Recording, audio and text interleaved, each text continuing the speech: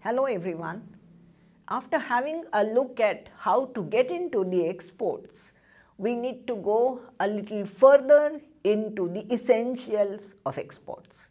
During this session, we will have a look at further issues wherein we need to understand whenever we are entering into the market, what are the things where we can really get a little more advantage. We also need to understand what is the difference between the international marketing, domestic marketing. When we go into the international market, we also have to take into consideration some other aspects like the product specification, the standards, etc. We will also have to understand different institutions which are involved into the exports and different setups like quality control, etc. What would be the essential part you must understand. At the same time, you must know that the DGFT is an important organization. So, and it is the one which announces the foreign trade policy. So, I will give you a little idea about the foreign trade policy 2015-20 and last but not the least, we must understand the WTO related issues as those agreements are going to impact your business a lot. Thank you very much.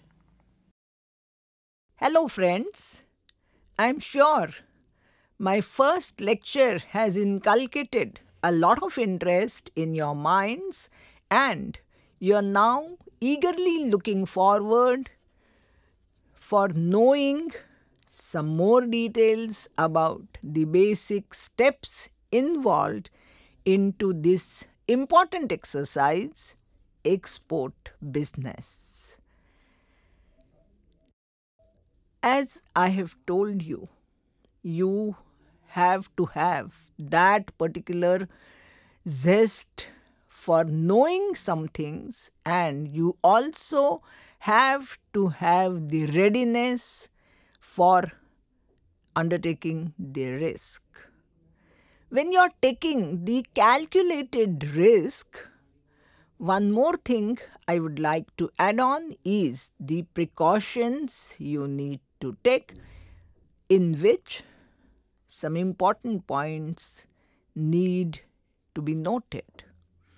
What are those points? Number one, you need to remember certain points and you need to find out the items for your own business.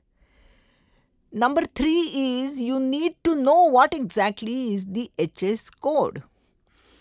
Number four, you have to find the item type, whether it is free, reserved, etc. There is one more thing which is required, which is find out the export and import data for which you will have to have knowledge and understanding about the databases. Very important thing is step number 6, you need to find the buyer. Okay, how do you do all these things? What are the points to remember? Number 1, export and import is totally free with very limited restrictions, meaning thereby 96% of the items which are into the product profile and the export basket of India, 96% of those items are free. Now, you need to find the buyer, you need to find the product, you need to find the market. So, that is your own responsibility, that has to be your own initiative right?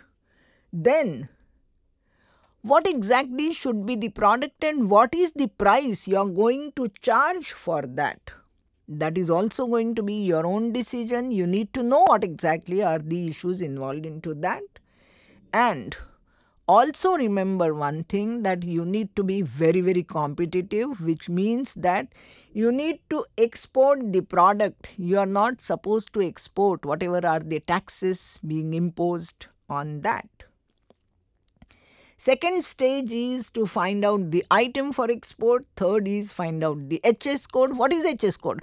Find out the product. Yes, we are going to give you the idea about these, how to find the product, how to identify your product. We are going to give you the details of it. To give you an idea about HS code, yes, this is the harmonized system of nomenclature wherein the items are classified into different categories and these categories are first classified into two digit classification. What does it mean? This means that products are put into different broad categories. For example, rice, wheat, electronic equipments. There are two digit level codes.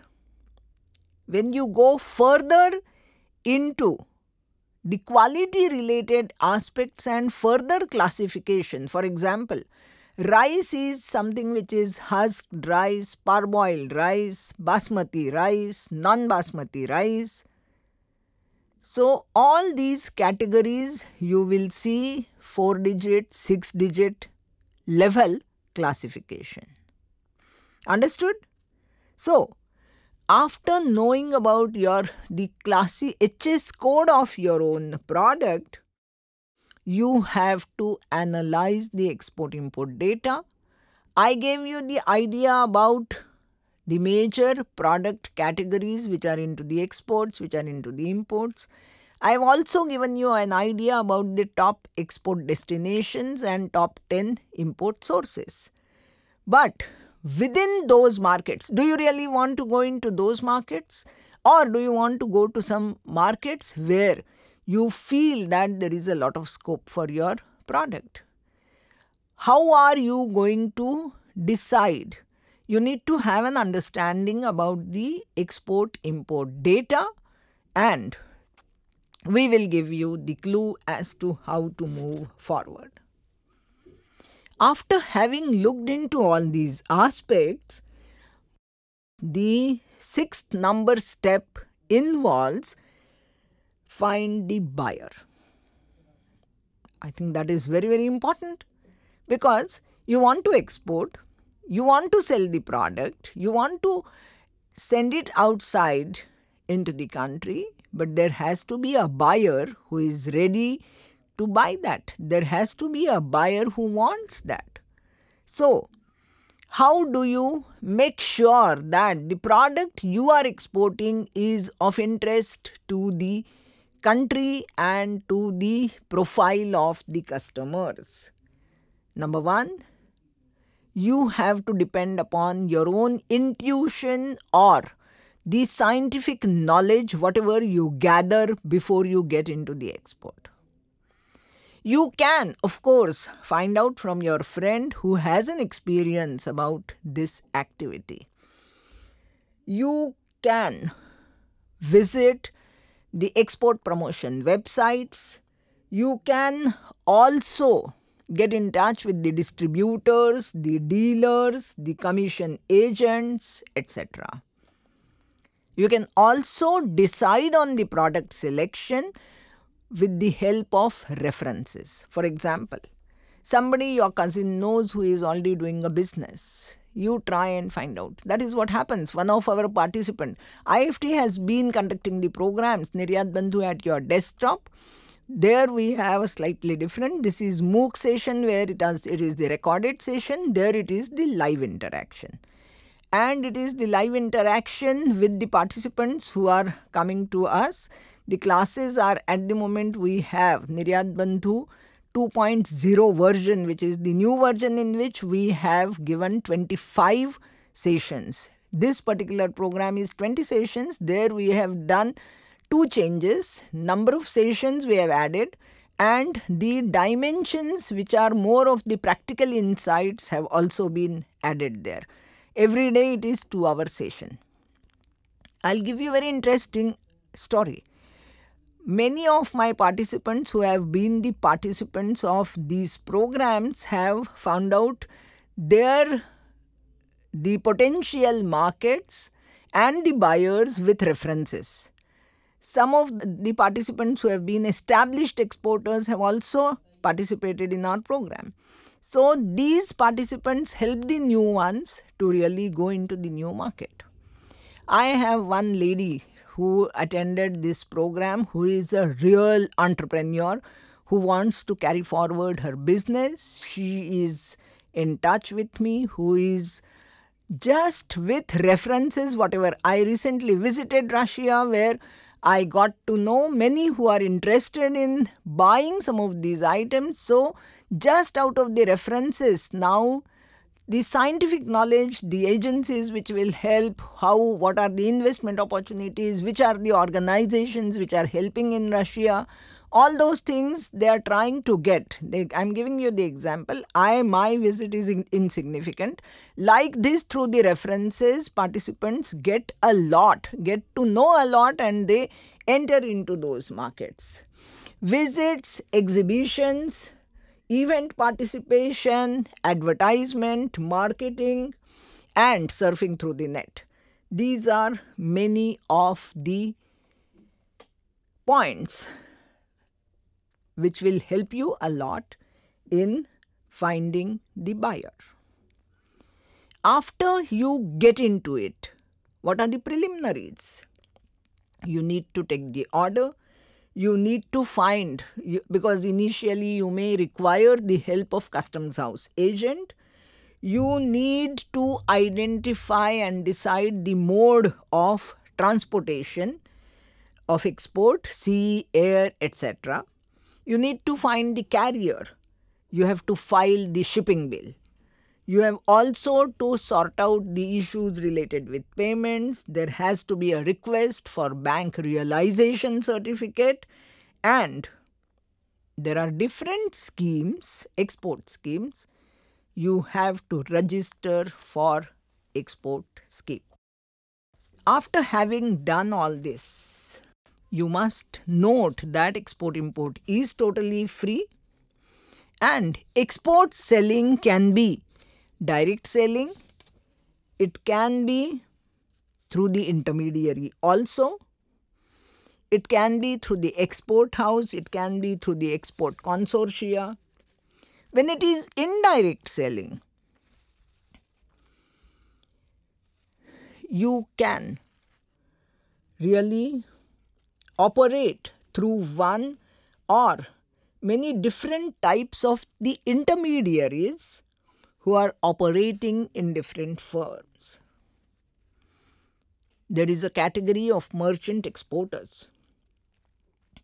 There are several merchandising houses as distinct from registered export houses who are specializing in the exports and who are operating in metropolitan cities concentrating on select markets.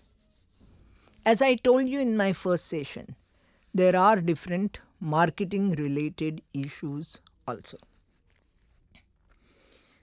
Many of you have the knowledge and understanding of the four P's of marketing product, price, place and promotion.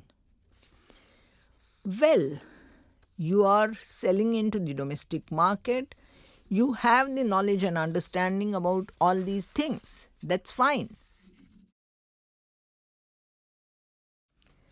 When you have to go into the international market, you cannot forget three aspects. What are those important issues? cross cultural knowledge is required. Country regional knowledge is also required and cross border transaction knowledge also required. What does it mean? There can be cultural differences, whatever is acceptable in India may not be acceptable in Saudi Arabia or some other country like Pakistan.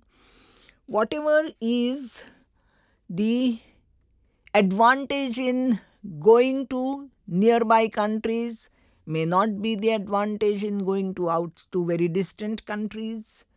And you have to have an understanding about which particular currencies are the local currencies into those markets. You have to know whatever are the exchange rate fluctuations related issues. You also need to understand where when you are going to the export market you have to pick up a market so whatever is nearby start with very very small thing. Start with one or two markets. Start with something which is very easy for you to go. And what is the easy part of it? South asia yes. Southeast asia to a certain extent yes.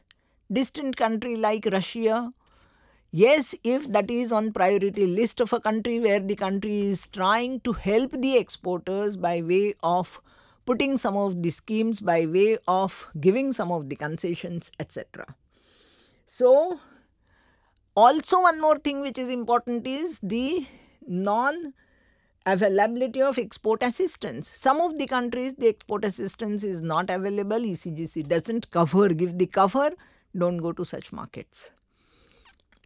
There are certain special requirements of the market. For example, if you visit Russia, your charger is not going to help you. They have a different set of pin. So you have to have that knowledge you go to USA, you go to some uh, countries, you will see that your 220 voltage is not really working. Product specifications will have to be taken into consideration. Distant location because then the freight and the logistics related issues might create a problem for you. The accessibility of the market, restrictions on remittances, etc all of these things will have to be taken into consideration when you're going. You can prefer a market which is giving a preferential rate of duty. Some of the countries with which India has entered into an FTA, you can really see which are those FTAs, which are the products where there is a preferential tariff, are you comfortable in that? You need not be a manufacturer. Initially, no one can, unless and until there is an established business, you are just taking over from your father, it's easy.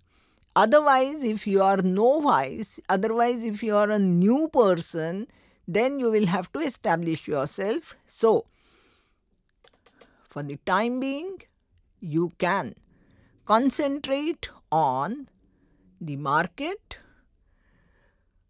which is offering the preferential treatment where you have a better profile available due to the cost related aspect. Somewhere the business community which is more of India, all over world there are Indians. So you will get the ethnic population wherever you go. Mauritius, Singapore, I've visited many countries and I've seen that there is always a big chunk of population which is belonging to Indian community. So even the products like mathe pe lagane wali bindi and chudiya and saris are also not an exception. You get everything there. So, however, whenever you, wherever you are going, you decide you have to prepare to manage the finance, payment, and risk if you don't have the understanding of that, that will create a problem. Right? You have to choose your distribution, shipping, and delivery methods. You have to have an understanding of the marketing information, sources, export promotion, councils, commodity boards, FIEO, FICCI, ASSOCHAM, Ministry of Commerce data, DGCIS data, India Trade Promotion Organization is one which is also helping you in organizing the exhibitions, etc. You can be a part. You need to have an understanding about the MAI and MDA scheme of uh, DGFT, which is uh, which is which is assisting the exporters to participate in these exhibitions you there are indian embassies there are high commissions abroad who are helping a lot in all my foreign visits i have noticed one thing that there is a commercial counselor and his focus is on improving the trade between India and that particular country. He helps you a lot. You have to have the correct knowledge and understanding and his contact. You have to know about different business promotion websites. There are international yellow pages also. There are popular websites from where you can do the surfing you need to understand that there has to be a relation management. There are employees, there are agents, there is a CA, there is advocate, there is a customs house agent, there is a something which you have to do with the logistics. There, there can be different consultants who can help you. But remember one thing this particular course will give you the idea about some of these important things which can definitely help you in having the correct understanding so that you don't get cheated. I have been told by many of my participants that, ma'am, because we did not have the understanding about these FTAs, about the preferential rate of duty, etc., we have lost a lot. Because why will the any agent worry about your own well being? You are interested in maximization of a profit, which is a definitely something which is a very, very normal thing for you. And that can happen only if you are able to reduce your cost, cost of production. You are able to get the maximum profits by way of managing everything properly.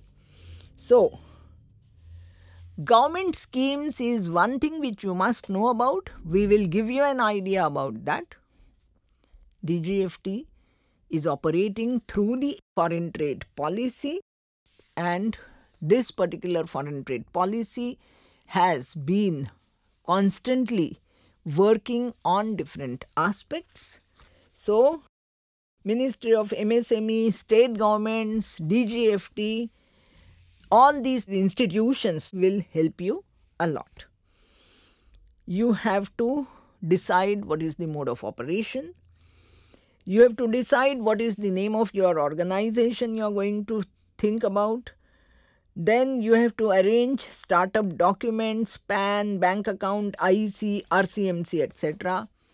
I told you you have to already selected a product. Then you have selected the market. You know what are the prospective buyers. You have decided your pricing, costing. You will also have to know that there are certain schemes which are helping you in sampling you need to negotiate with the prospective buyer and always remember one thing that negotiating with buyer is very very important you need to convert the no into the yes and that you can do with successful negotiation right there is a manufacturing cost there is a cost of packaging there is a transportation cost warehouse charges cost of inspection, expenses in customs, central excise, loading charges, freight and insurance charges. So, when you are deciding on the pricing, the cost, it's, you have to recover all your costs.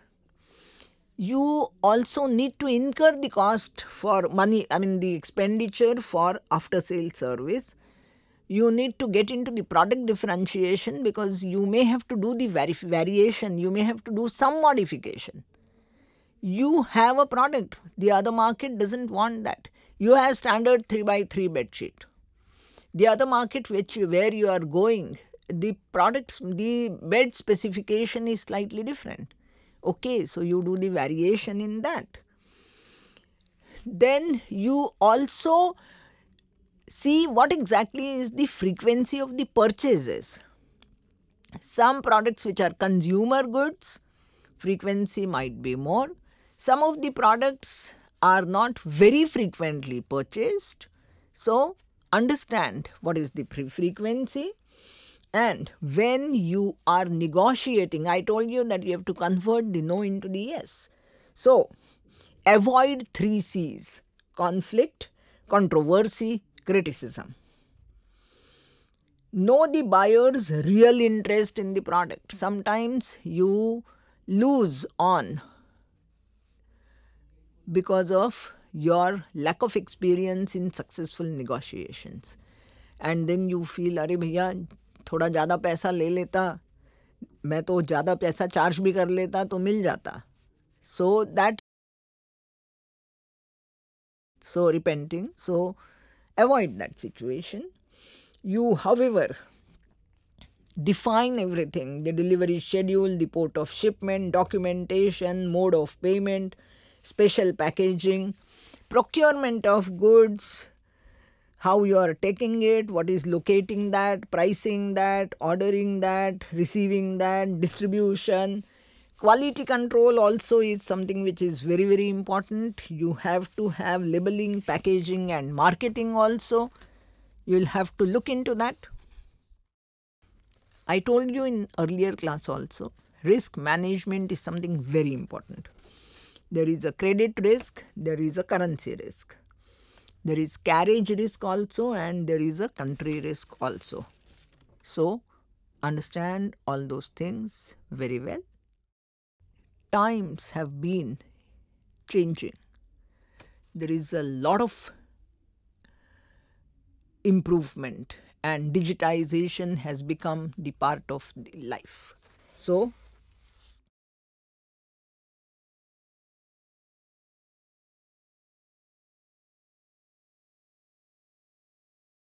you are you have heard about ease of doing business report India's ranking has improved a lot in ease of doing business.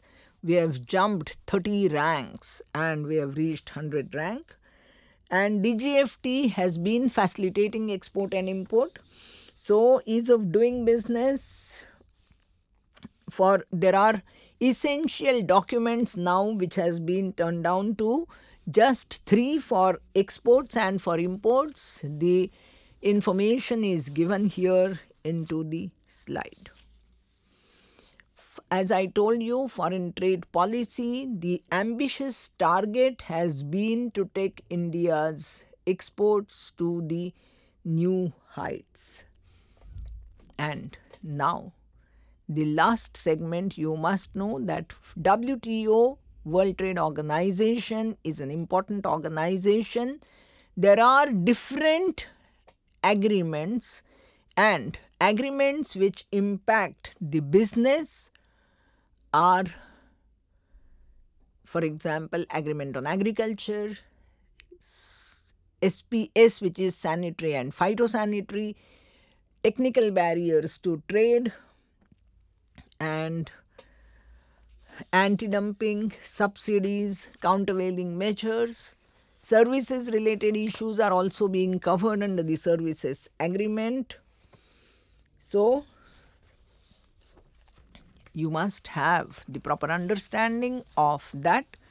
Many of the WTO related issues are going to be covered in the session.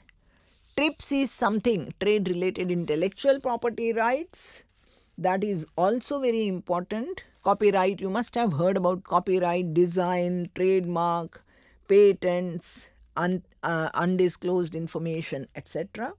So, wherever these things are going to be referred to, information on all these issues is available on website. There is a www.wto.org